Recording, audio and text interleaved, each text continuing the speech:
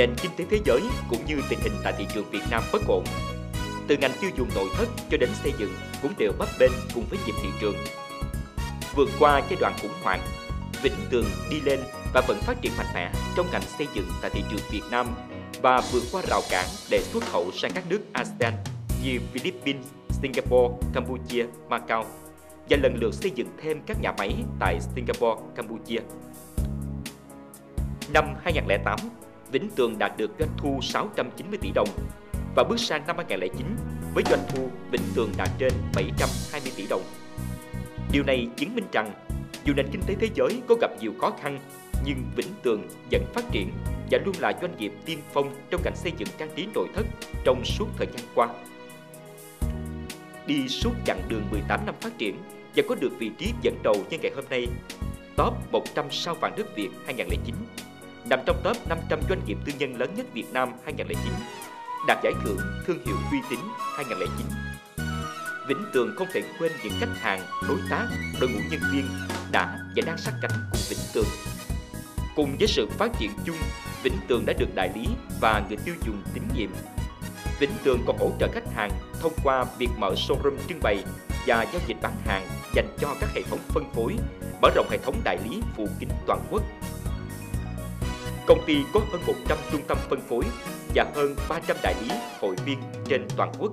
Trong năm 2009, Vĩnh Tường cũng đã đầu tư xây dựng hệ thống nhận diện thương hiệu mới như bản hiệu đại lý, cửa hàng, trung tâm phân phối, hình ảnh logo trên hệ thống xe Vĩnh Tường, phong bì, đồng phục, nhan mạc, website để thương hiệu Vĩnh Tường ngày càng được đông đảo người tiêu dùng biết đến và tin dùng.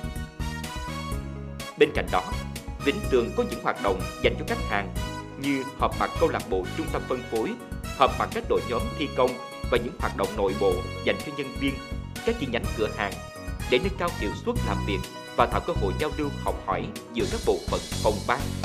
Với tinh thần làm hết sức, chơi hết mình như tổ chức chuyến giả ngoại tại Phan Thiết trong tháng 10 tiệc liên hoan sinh nhật, tổ chức các hoạt động thể thao, khi cắm hoa nấu ăn và các ngày lễ lớn trong năm.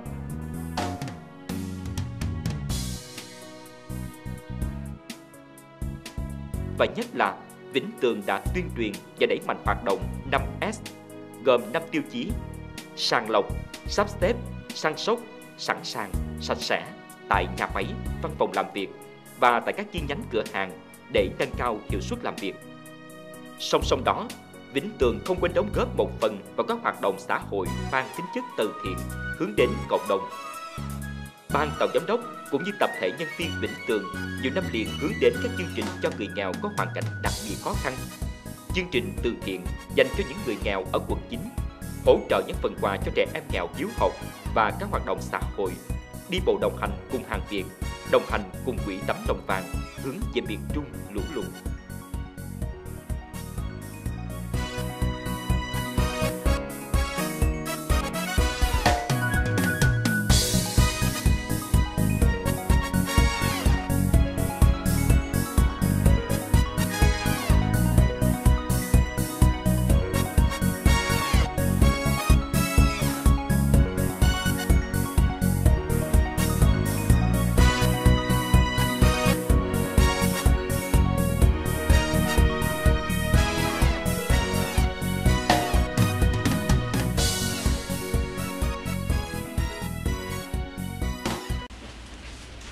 Tôi đã cùng với Vĩnh Tường đi qua nhiều giai đoạn phát triển của Vĩnh Tường.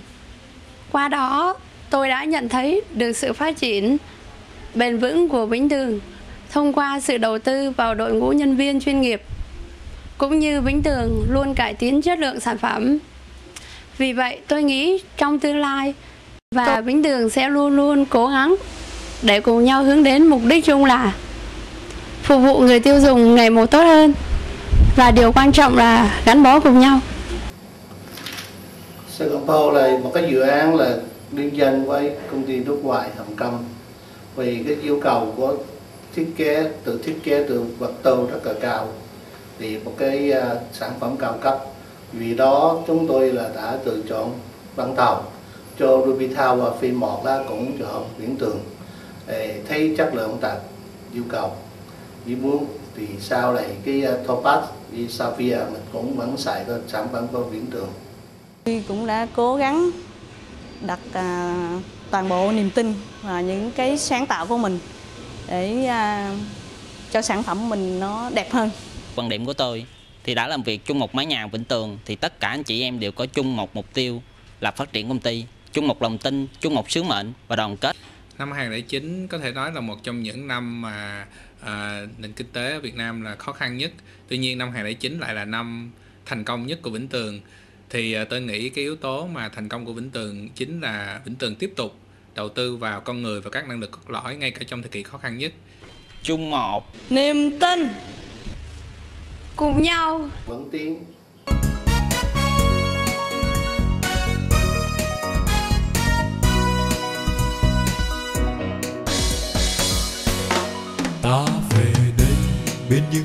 mới từng bàn tay xây nên những ước mơ.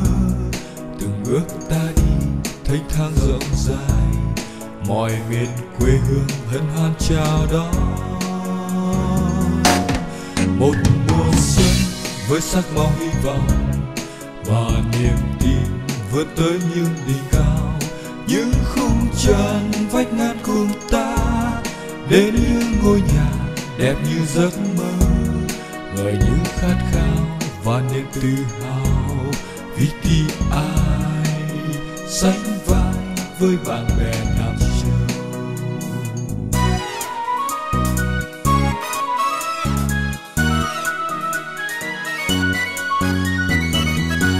còn mãi sắc màu sắc tươi hy vọng. Tuổi thanh xuân vươn mình cao hơn. Vì những công trình đẹp như vọng khắp muôn nơi vĩnh tường thân yêu tỏa sáng.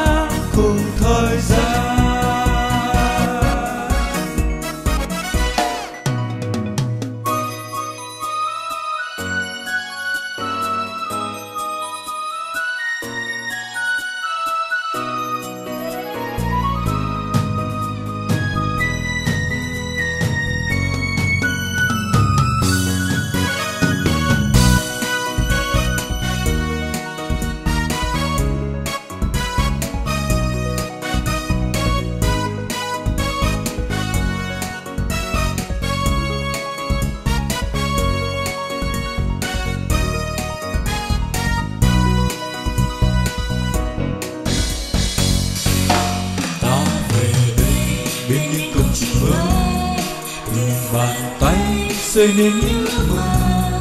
Từng bước ta đi, thanh thang rộng dài mọi miền quê hương hân hoan chào đón.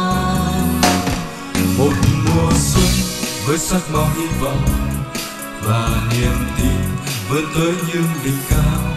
Những khung trần vách ngăn cùng ta đến những ngôi nhà đẹp như giấc mơ, lời những khát khao và niềm tự hào. Vì khi ai sánh vai với bạn bè nhau